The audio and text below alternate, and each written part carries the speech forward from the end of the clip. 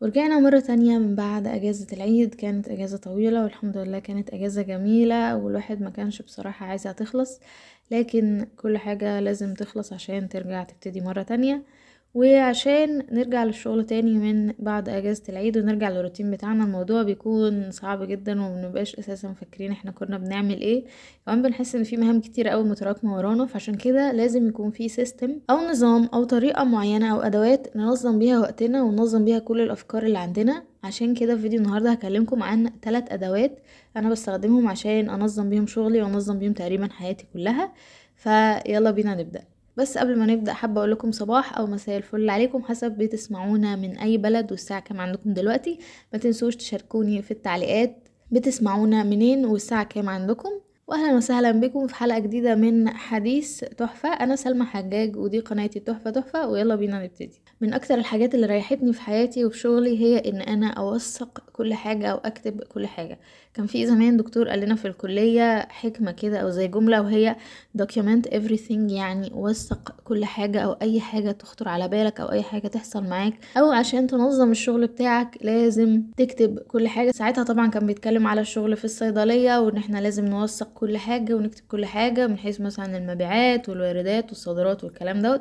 لكن لقيت إن الحكمة ديت مفيدة بالنسبة لي جدا في حياتي خصوصا إن أنا ذاكرتي ذاكرة سمكة. لو مثلا عايزة أعمل حاجة بالتاريخ الفلاني لو ما كتبتهاش بنساها. لو عايزة مثلا أشتري حاجات معينة رحت السوبر ماركت من غير ما أكون كاتبة الحاجات ديت أكيد طبعا برجع أكتشف إن أنا جزء كبير من الحاجات اللي أنا أساسا كنت عايزة أشتريها نسيت أشتريها لأني مش كاتباها.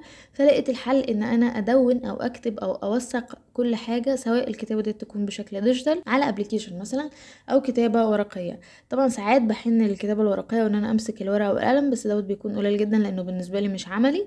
وبالنسبة لي العملي أكتر هو إن أنا أكتب على اللابتوب أو أكتب على الموبايل وده ياخدنا لنقطة مهمة جدا وإن أنا بحب أختار أغلب ال applications أو أغلب ال tools أو أغلب الأدوات اللي أنا بستخدمها تكون بقدر إن أنا أفتحها هي هي.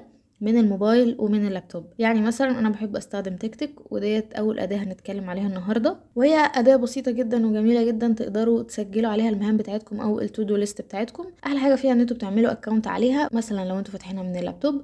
نفس ال account دوت تفتحوه برضو من على الموبايل. فلو أنا مثلا بره البيت أو معايا الموبايل مش فاتحة اللابتوب دلوقتي وجه في بالي مهمه عايزه أعملها في يوم معين بروح على طول فاتحة ال application بتاع TickTick وكاتباها. وده بيسهل عليا كتير جدا لأن أنا لما بصحى كل يوم الصبح وباجي أبدأ الشغل بتاعي بفتح اللابتوب وأشوف المهام اللي ورايا النهارده بفتحها بقى من على اللابتوب لو كان في مهمة مثلا أنا كنت مسجلاها عن طريق الموبايل بتظهر لي عادي جدا على اللابتوب.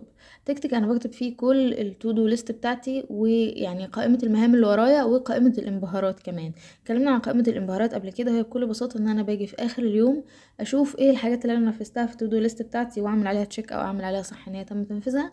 كمان بحب إن أنا أضيف أي حاجة أنا عملتها لأن ساعات في نص اليوم بنكون أنجزنا مهم بس ما كناش مسجلينها على ال to do list بتاعتنا. فبحب إن أنا أكتبها عشان أعرف بالظبط أنا أنجزت إيه وما أنجزتش إيه. أنا عاملة Tick categories كتيرة جدا زي مثلا الحاجات اللي ليها علاقة بشغل البيت الحاجات اللي ليها علاقة بالشغل بتاعي والحاجات كمان اللي ليها علاقة بالهوايات بتاعتي. مثلا زي أنا بحب الزراعة وبيكون في عندي مهام ليها علاقة بالزراعة أو الحديقة الصغيرة اللي أنا عاملاها في البلكونة برضو عاملة مهام في ال category دوت. عاملة مهام ليها علاقة بالصحة واللي هو ال self care أو العناية بالنفس برضو دول موجودين.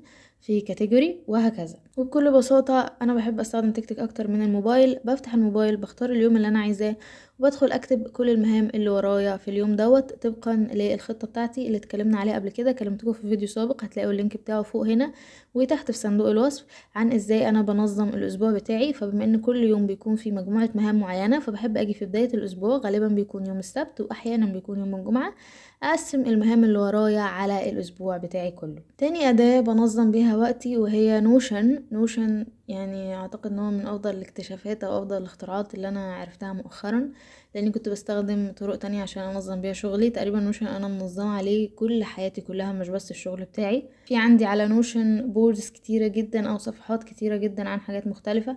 زي مثلا إن أنا عاملة board خاصة بإنستجرام فيها بنظم ال content بتاعي اللي بينزله على إنستجرام بشكل دوري. فيها كمان مجموعات ال hashtags بتاعتي. فيها كمان ال stories اللي بنزلها على انستجرام لو عندي مثلا فكرة ليها علاقة ب story جديدة كمان عاملة board تانية مثلا لل products أو ال digital products اللي أنا عايزة أنشرها قريب. المنتجات مثلا الرقمية اللي أنا نشرتها already خلاص واللي أنا لسه عايزة أشتغل عليها عشان أنشرها مرة تانية. كل واحدة من دول في جواها منتج رقمي وجواها التفاصيل بتاعة الشغل بتاع المنتج الرقمي. كمان طبعا في board خاصة بال blog أو ال website بتاعي. في board تانية خاصة باليوتيوب. في board تقريبا خاصة بكل حاجة بالاستشارات بتاعة إنستجرام موجود برضو. board خاصة بيها board خاصة بالفلوس وإيه الحاجات اللي أنا بصرفها وإيه الحاجات اللي أنا بحوشها ودي بتكون حلوة جدا إن أنا بعملها على شكل جدول أو زي شبه يعني شوية ال Excel sheet فبدخل الفلوس اللي أنا بصرفها وبدخل الفلوس مثلا بال positive يعني وبال negative اللي داخلي واللي بصرفه. وفي آخر الشهر بعرف أنا صرفت كام أو اتبقالي فلوس قد إيه وقدرت أحوش مثلا الشهر دوت كام ولا لأ مثلا ما قدرتش أحوش حاجة والفلوس كلها خلصت وهكذا. طبعا ال board ديت خاصة بالبيت حاطة فيها عاملة فيها بقى زي system عميق كده للبيت. هنا تنظيم الوجبات وإزاي بقسم الوجبات مثلا سحارات السرير الحاجات اللي موجودة جوه كل سحارة سرير عشان الواحد دايما بينسى هو خزن إيه فين بدل ما يفتح سحارة السرير الغلط مثلا ويطلع منها حاجة فكاتبة كل سحارة سرير فيها إيه. الأدوية اللي موجودة في البيت والتاريخ بتاع الصلاحية بتاعتها إمتى وإيه اللي موجود وإيه اللي قرب يخلص عشان نشتريه وإيه اللي مش موجود. الزينة مثلا بتاعت رمضان عشان لما يجي رمضان الجاي وأجي أشتري زينة بفتح على طول البورد ديت وأشوف إيه الزينة اللي already كانت موجودة عندي عشان مشتريش حاجة متكررة أشوف مثلا هل عندي أنوار كفاية ولا مثلا الانوار بتاعت السنة اللي فاتت اتحرقت ومحتاجة أشتري تاني. وهكذا. هنا الوصفات بتاعه الأهل والأحباب مثلا لما أكون عند حد ويقول لي وأكل مثلا عنده أكلة حلوة ويقول لي الوصفة بتاعتها فباجي أسجلها هنا. طبعا أفضل system وصلت ليه حتى الآن وهو طلبات البيت لأن أنا كان عندي مشكلة إن أنا كنت بروح دايما السوبر ماركت عشان أشتري طلبات البيت ألاقي نفسي بشتري نفس الحاجات هي هي مكررة أو بشتري حاجات موجودة عندي already وأكتشف في الآخر إن الحاجات اللي مش موجودة في البيت أنا نسيت أشتريها.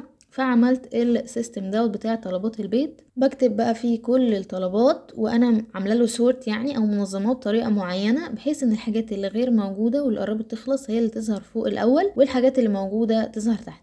لو اشتريت بقى أي حاجة باجي هنا وكده وأروح مغيرة بدل غير موجود أخليها موجود.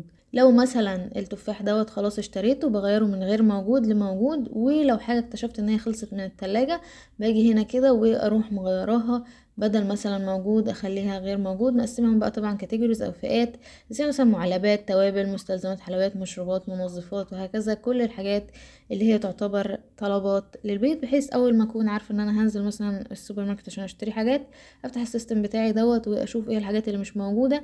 ممكن مثلا انقلها في ورقة على جنب لو أنا مش عايزة أفتح الموبايل مثلا أو أمسك الموبايل كتير في السوبر ماركت أو هيكون صعب فبنقل بس الحاجات اللي مش موجودة عندي. وتالت بقى أداة أو تالت حاجة أنا بستخدمها مؤخرا ودي للأسف بقى عيبها الوحيد إن هي بتتفتح من على اللابتوب بس وما عنديش منها نسخة على الموبايل وهي ال sticky notes اللي هي بتيجي كده default مع الويندوز ال sticky notes ديت أنا بحبها جدا. ساعات لما بصحى الصبح أو باجي مثلا في أي وقت بحس إن أنا مشتتة وعندي أفكار كتيرة كده داخلة في بعضها ومش عارفة أركز في الشغل اللي ورايا. فكل اللي بعمله إن أنا بفتح sticky note مثلا أنا معلماهم بقى وعامله لهم color coding ال sticky notes اللي لونها أصفر دي ليها علاقة بالشغل عشان ده يعني لون ال sticky notes اللي هو المتعارف عليه. ال sticky notes اللي لونها أخضر شوية ديت ليها علاقة بالزرع والزراعة والحاجات ديت وهكذا كل sticky note ليها دلالة أو كل لون معين ليه دلالة معينة. فاللي بعمله إن أنا بفتح ال sticky note ديت وبكتب فيها كل الأفكار اللي بتجيلي. لو جاتلي مثلا فكرة فجأة كده وأنا بشتغل بروح فاتحة ال sticky note وكاتباها. لما بقى بيجي الوقت اللي أنا برتب فيه حاجتي ساعتها بقى بروح واخدة مثلا الأفكار اللي في ال sticky note ديت وأحطها في مكانها الصحيح زي مثلا ال board بتاعت إنستجرام على Notion وهكذا. وال sticky note أنا بحبها عشان بتفضل موجودة على اللابتوب حتى لما بطفي اللابتوب وبرجع أشغله تاني ال sticky note بتفضل محفوظة عندي مش بتتحذف ولا بيتغير فيها حاجة زي بالظبط كأنكم لازقين sticky note على الحيطة بتاعتكم مثلا أو على المكتب بتاعكم. لكن زي ما قلت لكم أنا عندي مشكلة مع الورق إن أنا ساعات بكتب حاجات في ورق الأسهل بالنسبة لي إن أنا أكتب أفكار على ورق لكن المشكلة إن ساعات الورق دوت بيضيع أو برجع أحاول إن أنا أدور عليه تاني أو الأجندة مثلا بتكون كبيرة فأقعد أقلب فيها وأدور فيها فموضوع الكتابة بالورق بالنسبة لي مش أسهل حاجة. عشان كده دايما بفضل إن أنا أنظم حياتي كده بشكل digital أو بشكل رقمي. كمان طبعا إن ال note أو الورق صعب إن أنا أنقله معايا في كل حتة أو أخليه معايا مثلا في شنطتي وأنا بروح أي مكان. إنما على عكس ال applications اللي بقدر أفتحها من على ال laptop وال mobile في نفس الوقت بقدر إن أنا الأداة بتاعة التنظيم بتاعتي ديت تبقى معايا في كل مكان بما إن الموبايل معايا دايما في كل مكان. ودول كانوا الثلاث أدوات اللي أنا بستخدمهم عشان أنظم بيهم شغلي وحياتي تقريبا كلها وهما TickTick و Notion وال sticky notes. اللي بتيجي default كده مع الويندوز لو حابين إن إحنا نتكلم أكتر عن Notion في فيديو مفصل اكتبولي تحت في التعليقات. كمان اكتبولي في التعليقات بتحبوا أكتر إن أنتوا تنظموا حياتكم أو تنظموا وقتكم بشكل رقمي يعني على applications أو على اللابتوب أو ببرامج ولا بتحبوا أكتر التنظيم والتدوين الورقي. ودي كانت كل حاجة لحديث النهاردة. يا رب يكون حديث النهاردة خفيف كده ولطيف عليكم. ما تنسوش إن أنتوا تقدروا تدعمونا بشكل مجاني تماما عن طريق إن أنتوا تعملوا subscribe وتفعلوا الجرس وتختاروا all عشان يوصلكم كل جديد. كمان تقدروا تتابعونا على المدونة فيسبوك تليجرام وانستجرام هسيب لكم كل الروابط دي تحت في صندوق الوصف. وإلى اللقاء في فيديو جديد. دمتم بخير. bye bye.